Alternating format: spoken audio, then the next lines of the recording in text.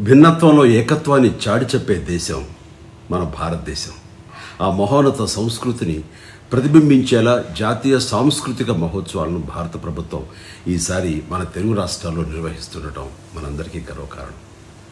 మన దేశ ఘన వారసత్వానికి నిర్మిత్తు నిదర్శనంగా నిలిచే వివిధ సాంస్కృతిక కళారూపాలను ఎందరో కళాకారులు రాజమహేంద్రవరంలో మార్చి ఇరవై ఆరు ఇరవై ఏడు తేదీలలో అలాగే వరంగల్లో మార్చ్ ఇరవై తొమ్మిది ముప్పైన.